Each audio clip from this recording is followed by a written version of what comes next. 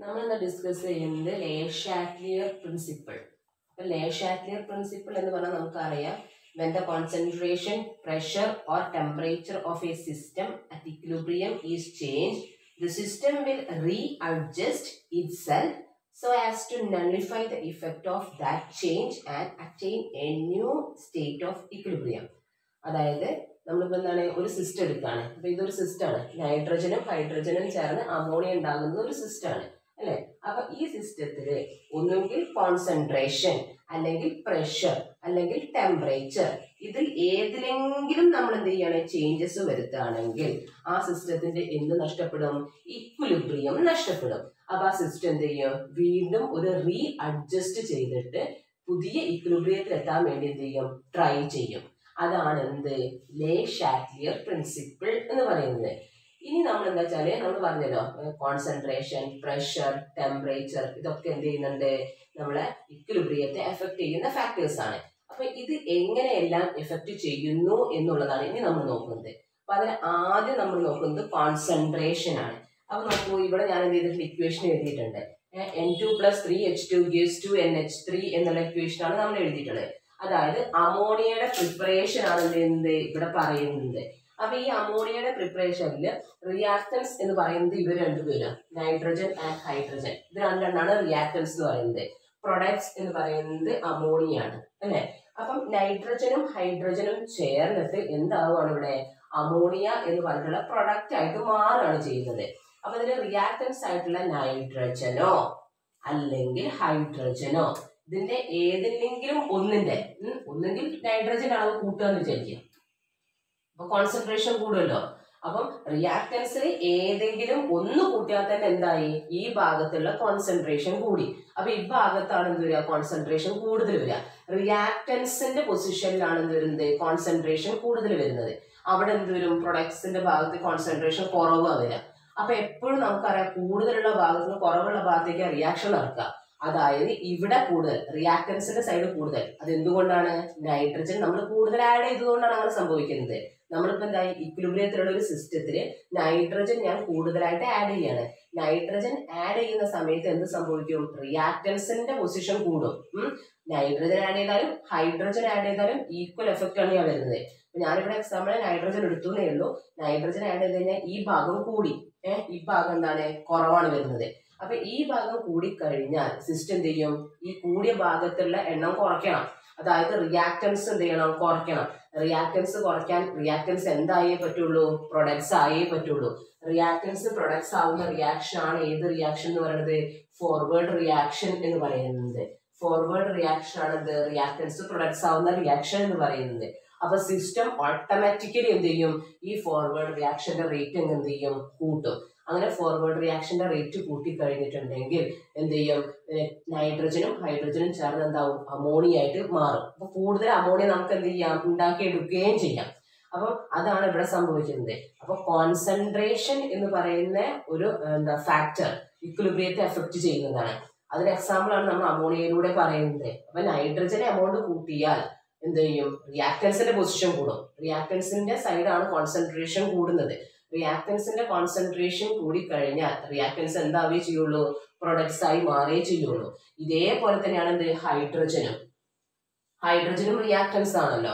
അപ്പൊ ഹൈഡ്രജന്റെ എമൗണ്ട് കൂട്ടുകയാണ്. ഹൈഡ്രജന്റെ amount കൂട്ടിക്കഴിഞ്ഞാൽ automatically റിയാക്ടൻസിന്റെ ഭാഗമാണ് എന്ത് ചെയ്യുന്നത്? കോൺസെൻട്രേഷൻ കൂടുന്നത്. അപ്പൊ റിയാക്ടൻസിന്റെ കോൺസെൻട്രേഷൻ കൂടിക്കഴിഞ്ഞാൽ റിയാക്ടൻസ് എന്താവണം? പ്രൊഡക്ട്സ് ആയിട്ട് മാറണം. അപ്പൊ അവിടെ എന്ത് തന്നെയാണ് സംഭവിക്കുന്നത്? ഫോർവേഡ് റിയാക്ഷൻ ആണ് എന്ത് ചെയ്യുന്നത്? ഇൻക്രീസ് ചെയ്യുന്നത്. അപ്പൊ നിങ്ങൾ ഇത്രേ ചിന്തിക്കേണ്ട ആവശ്യമുള്ളൂ. നിങ്ങൾക്ക് ഏത് ഇക്വേഷൻ അമോണിയ എന്നല്ല ഏത് ഇക്വേഷൻ തന്നു കഴിഞ്ഞാലും നിങ്ങൾ ശ്രദ്ധിക്കേണ്ട കാര്യം എന്താ? റിയാക്ടൻസിന്റെ ഭാഗത്തുള്ള ആരെങ്കിലാണ് കൂടുന്നതെങ്കിൽ ഫോർവേഡ് റിയാക്ഷനെ കൂടുള്ളൂ. കാരണം എന്താ? ഇത് ആലോചിച്ചാൽ മതി. ഈ റിയാക്ടൻസ് എന്ന് ഇതാണ്. ഇതങ്ങ് കൂടാന്നാണ് ഈ ഭാഗം കൂടി. ഈ ഭാഗം കൂടി കഴിഞ്ഞിട്ടുണ്ടെങ്കിൽ എന്ത് ചെയ്യണം? ഈ റിയാക്ടൻസ് എന്താവണം? പ്രൊഡക്ട്സ് ആയി മാറിയാലേ എന്ത് ചെയ്യുള്ളൂ? വീണ്ടും ഇക്വിലിബ്രിയത്തിൽ എത്തുള്ളൂ. അപ്പം എന്ത് ചെയ്യും? ഫോർവേഡ് റിയാക്ഷൻ ആണ് എന്ത് ചെയ്യുന്നത്? കൂടുന്നത്. ഇനി പറയാണ് നമ്മുടെ അമോണിയ. അമോണിയന്റെ എമൗണ്ട് ആണ് നമ്മൾ ഇൻക്രീസ് ചെയ്യുന്നതെന്ന് വിചാരിക്കാം അമോണിയന്റെ എമൗണ്ട് നമ്മൾ ഇൻക്രീസ് ചെയ്യുമ്പോൾ അവിടെ പ്രൊഡക്റ്റ് ആണ് കൂടുന്നത്. അല്ലെ? പ്രൊഡക്റ്റ് കൂടിക്കഴിഞ്ഞാൽ ഈ ഭാഗമാണ് എന്ത് വരുന്നത്? കൂടുതൽ വരുന്നത്. അപ്പൊ പ്രൊഡക്റ്റ് കൂടിക്കഴിഞ്ഞിട്ടുണ്ടെങ്കിൽ എന്ത് ചെയ്യണം നീ? പ്രൊഡക്റ്റ് റിയാക്റ്റൻസ് ആവണം. പ്രൊഡക്ട്സ് റിയാക്റ്റൻസ് ആവുന്ന ഇക്വേഷൻ എന്ന് പറഞ്ഞാൽ എന്ത് റിയാക്ഷൻ ആണ്? ബാക്ക്വേർഡ് റിയാക്ഷൻ ആണ്. അപ്പൊ പ്രൊഡക്റ്റ് ആണ് കൂടുന്നതെങ്കിൽ ഏത് റിയാക്ഷൻ ആണ് കൂടുക? ബാക്ക്വേർഡ് റിയാക്ഷൻ ആണ് എന്ത് ചെയ്യുന്നത്? കൂടുന്നത്.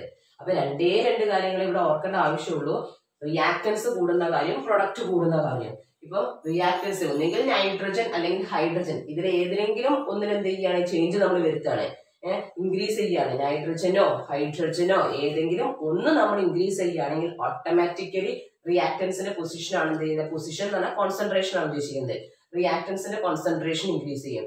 റിയാക്ടൻസിന്റെ കോൺസെൻട്രേഷൻ ഇൻക്രീസ് ചെയ്ത് കഴിഞ്ഞാൽ റിയാക്ടൻസ് എന്താവാനാണ് നോക്കുക? പ്രൊഡക്ട്സ് ആവാനാണ് എന്ത് ചെയ്യുന്നത്? ട്രൈ ചെയ്യുന്നത്. അങ്ങനെയാണ് എന്ത് എന്ത് ചെയ്യുള്ളൂ? അവർക്ക് പുതിയൊരു ഇക്ലുബ്രിയത്തിൽ എത്താൻ സാധിക്കുകയുള്ളൂ. അപ്പൊ അതുകൊണ്ട് എപ്പോഴും ശ്രദ്ധിക്കേണ്ട കാര്യം റിയാക്ടൻസിൽ ഏതെങ്കിലും ഒന്നിന്റെ കോൺസെൻട്രേഷൻ കൂടിക്കഴിഞ്ഞാൽ ഫോർവേഡ് റിയാക്ഷൻ ആണ് കൂടുന്നത്. ഇനിയോ അമോണിയ പ്രൊഡക്റ്റ് ആണ്. അമോണിയയുടെ അമോണിയയുടെ കോൺസെൻട്രേഷൻ ആണ് നമ്മൾ ഇൻക്രീസ് ചെയ്യുന്നതെന്ന് വിചാരിക്കാം. അമോണിയയുടെ കോൺസെൻട്രേഷൻ ആണ് ഇൻക്രീസ് ചെയ്യുന്നതെങ്കിൽ ഇവിടെ പ്രൊഡക്റ്റ് ആണ് കൂടുന്നത്. പ്രൊഡക്റ്റ് എന്താവണം? പിന്നെ റിയാക്ടൻസ് ആയിട്ട് മാറണം. പ്രൊഡക്റ്റ് റിയാക്ടൻസ് ആയിട്ട് മാറണം നമ്മൾ പ്രൊഡക്റ്റ് ഇവിടെ പ്രൊഡക്റ്റ് എന്താണ്? അമോണിയാണ് ഏഹ് അപ്പൊ അമോണിയ നമ്മൾ റിമൂവ് ചെയ്യാണ്.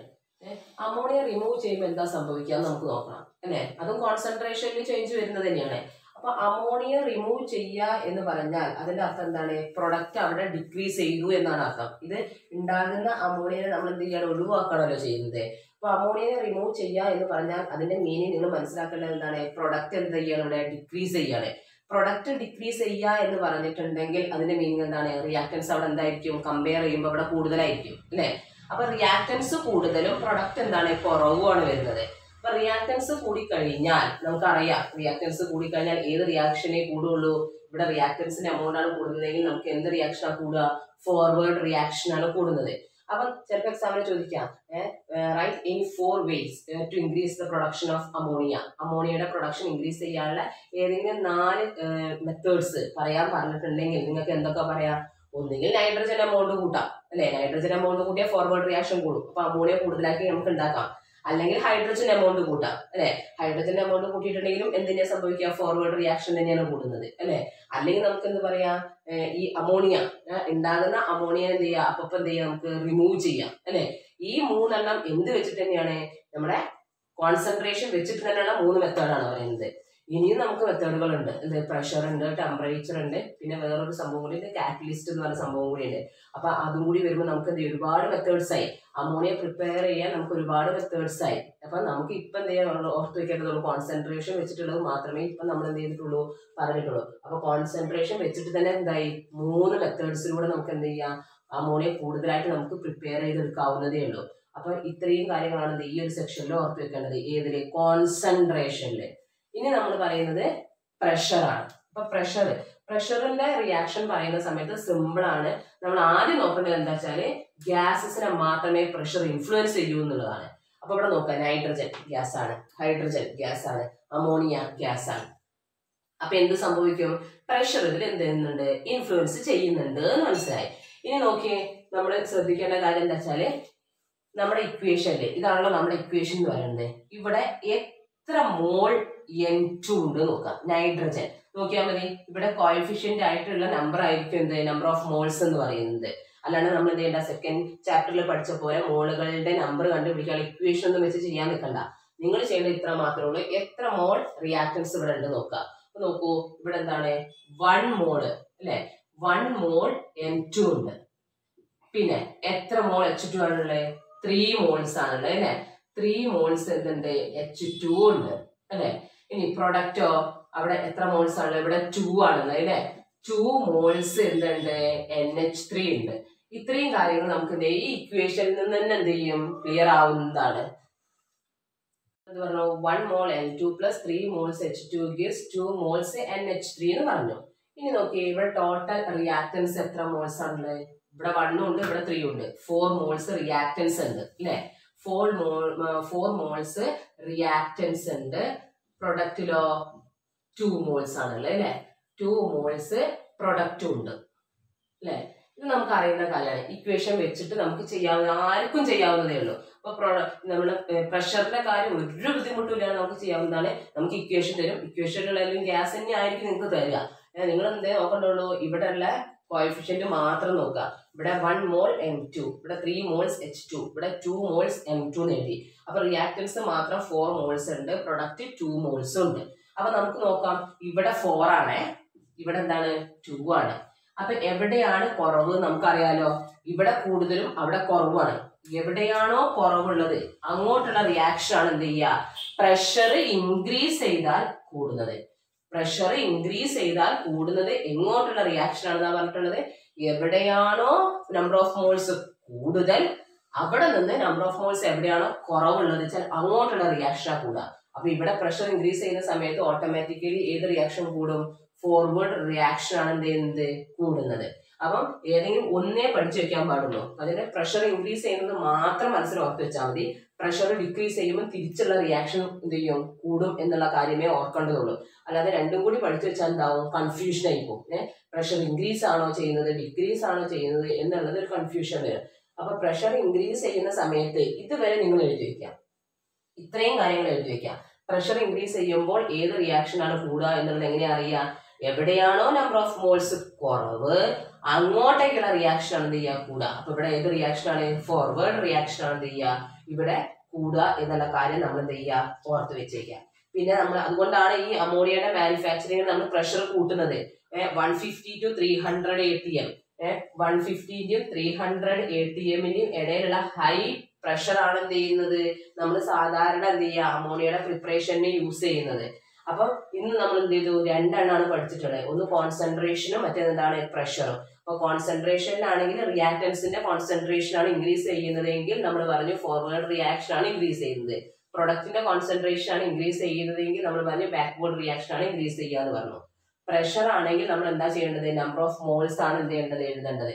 നമ്പർ ഓഫ് മോൾസ് ഒരു പ്രയാസമില്ല എല്ലാത്തിനും കോഎഫിഷ്യന്റ് നോക്കിയാൽ മതി. ഇവിടെ വൺ ആണ് വൺ മോൾ എൻ ടു ഉണ്ട് ഇവിടെ ത്രീ മോൾസ് എച്ച് ടു ഉണ്ട് അവിടെ two moles N H three ഉണ്ട്. അപ്പൊ ടോട്ടൽ റിയാക്ടൻസ് എന്ന് പറയുന്നത് ഫോർ മോൾസ് ആണ്. അവിടെ എന്താണ്? ടു മോൾസ് പ്രൊഡക്റ്റും ആണ്.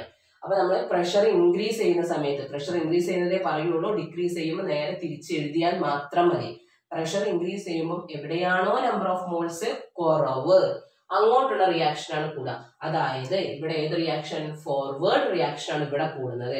അപ്പം നമ്മൾ എന്ത് ഉപയോഗിക്കുന്നു നമുക്ക് മനസ്സിലായി. പ്രഷർ കൂട്ടണം. അമോണിയയുടെ പ്രിപ്പറേഷനിൽ ഹൈ പ്രഷറാണ് നമ്മൾ ഉപയോഗിക്കുന്നത്. ആ ഹൈ പ്രഷർ എന്ന് പറയുന്നത് എത്രയാണ്? One fifty two three hundred A T എമ്മിന് ഇടയിലുള്ള ഒരു പ്രഷറാണ് നമ്മൾ എന്ത് ചെയ്യുക? സാധാരണഗതിയിൽ എന്ത് ചെയ്യുന്നത്? യൂസ് ചെയ്യുന്നത് എന്ന് മാത്രം. ഇപ്പൊ തന്നെ ഈ രണ്ട് സെക്ഷൻ രണ്ട് ഫാക്ടേഴ്സ് പഠിച്ചപ്പോൾ തന്നെ നാല് മെത്തേഡ് നമ്മൾ പഠിച്ചു അല്ലെ? ഒന്നെങ്കിൽ എൻ ടുവിന്റെ എമൗണ്ട് കൂട്ടുക അല്ലെങ്കിൽ എച്ച് ടുവിന്റെ എമൗണ്ട് കൂട്ടുക അല്ലെങ്കിൽ നമ്മൾ എന്ത് ചെയ്യും? ഉണ്ടാകുന്ന അമോണിയ അപ്പൊ തന്നെ എന്ത് ചെയ്യും? റിമൂവ് ചെയ്യും അല്ലെ? Ammonia is remove from the system ആ സിസ്റ്റത്തിൽ നിന്ന് എന്ത് ചെയ്യും? അമോണിയയെ നമ്മൾ റിമൂവ് ചെയ്യും. പിന്നെ എന്ത് ചെയ്യുക? ഇൻക്രീസ് ദ പ്രഷർ പ്രഷർ എന്ത് ചെയ്യുക? ഇൻക്രീസ് ചെയ്യുക. നാല് മെത്തേഡിലൂടെ തന്നെ നമുക്ക് എന്ത് ചെയ്യുക? അമോണിയ ഗ്യാസ് കൂടുതലായിട്ട് ഉണ്ടാക്കി എടുക്കാലോ അപ്പൊ ഇതാണ് എന്ത്? കോൺസെൻട്രേഷനും പ്രഷറും അപ്പൊ ഇത്രയും കാര്യങ്ങൾ എന്ത് ചെയ്യുക? കൃത്യമായിട്ട് നിങ്ങൾ എന്ത് ചെയ്യുക? മനസ്സിലാക്കി വെക്കുക.